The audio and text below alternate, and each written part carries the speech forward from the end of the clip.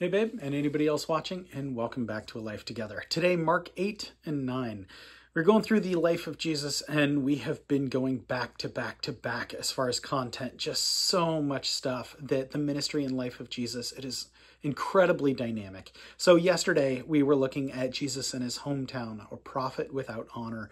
We saw the uh, sending of the 12, we saw John the Baptist beheaded, the feeding of the 5,000, walking on water, true cleanliness. So, not just the outside of the pot should be washed, but the inside as well. Uh, we saw faith and true faith and what that looks like. We saw healing. We're going to see more healing today, uh, but we're going to see the feeding of the 4,000 today, a separate occurrence. Uh, we see the yeast of the Pharisees and Herod, the healing of a blind man, and then a boy with an evil spirit as well. Jesus predicting his death, the transfiguration, a conversation about who is the greatest. And then also we will take a look at uh, who is for us, who is against us, and then we'll talk very, very briefly about causing others to sin. Really sobering stuff there, but we'll take a look at that. Again, Mark 8 and 9 today. So, chapter 8. During those days, another large crowd gathered. Since they had nothing to eat, Jesus called his disciples to him and said, I have compassion for these people. They have already been with me three days and have nothing to eat.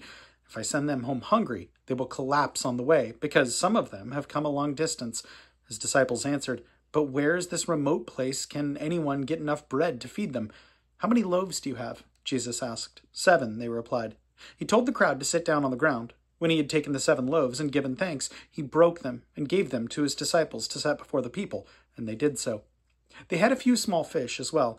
He gave thanks for them also, and told the disciples to distribute them. The people ate and were satisfied. Afterward, the disciples picked up seven basketfuls of broken pieces that were left over. About four thousand men were present, and having sent them away, he got into the boat with his disciples and went to the region of Dalmanutha the Pharisees came and began to question Jesus. To test him, they asked him for a sign from heaven.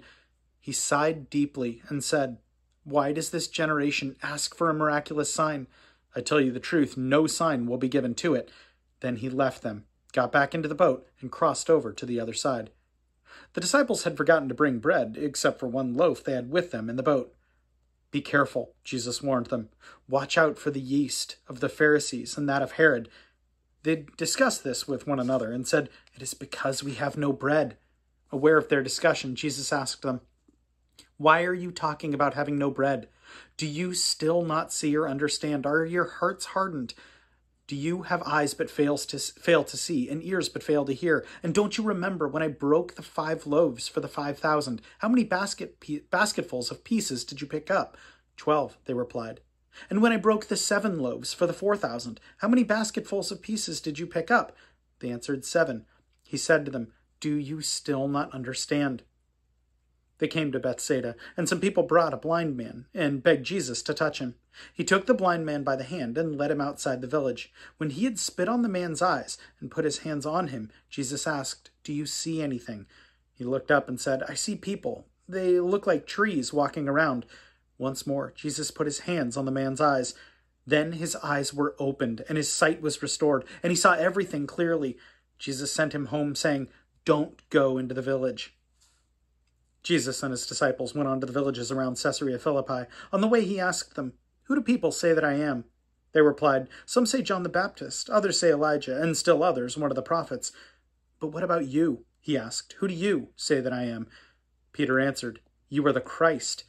Jesus warned them not to tell anyone about him. He then began to teach them that the Son of Man must suffer many things and be rejected by the elders, the chief priests, and the teachers of the law, and that he must be killed and after three days rise again. He spoke plainly about this, and Peter took him aside and began to rebuke him. But when Jesus turned and looked at his disciples, he rebuked Peter. Get behind me, Satan, he said. You do not have in mind the things of God, but the things of men. Then he called the crowd to him along with his disciples and said, If anyone would come after me, he must deny himself and take up his cross and follow me. For whoever wants to save his life will lose it, but whoever loses his life for me and for the gospel will save it. What good is it for a man to gain the whole world yet forfeit his soul? Or what can a man give in exchange for his soul? If, any was if anyone is ashamed of me and my words in this adulterous and sinful generation, the Son of Man will be ashamed of him when he comes in his Father's glory with the holy angels. Chapter 9 And he said to them, I tell you the truth, some who are standing here will not taste death before they see the kingdom of God come with power. After six days, Jesus took Peter, James, and John with him and led him up on a high mountain where they were all alone. There he was transfigured before them. His clothes became dazzling white, whiter than anyone in the world could bleach them. And there appeared before them Elijah and Moses, who were talking with Jesus. Peter said to Jesus, Rabbi, it is good for us to be here. Let us put up three shelters one for you, one for Moses, and one for Elijah. He did not know what to say. They were so frightened. Then a cloud appeared and enveloped them, and a voice came from the cloud This is my Son, whom I love. Listen to him. Suddenly, when they looked around, they no longer saw anyone with them except Jesus. As they were coming down the mountain, Jesus gave them orders not to tell anyone what they had seen until the Son of Man had risen from the dead. They kept the matter to themselves, discussing what rising from the dead meant. And they asked him, What did the teachers of the law say that Elijah must come first? Jesus replied, To be sure, Elijah does come first and restores all things. Why then is it written that the Son of Man must suffer much and be rejected? But I tell you, Elijah has come, and they have done to him everything they wished, just as it is written about him. When they came to the other disciples, they saw a large crowd around them, with the teachers of the law arguing with them. As soon as all the people saw Jesus, they were overwhelmed with wonder and ran to greet him. What are you arguing with them about? he asked. A man in the crowd answered, Teacher, I brought you my son, who is possessed by a spirit that has robbed him of speech. Whenever it seizes him, it throws him to the ground. He, foam, foam, he foams at the mouth, gnashes his teeth, and becomes rigid. I asked your disciples to drive out the spirit, but they could not.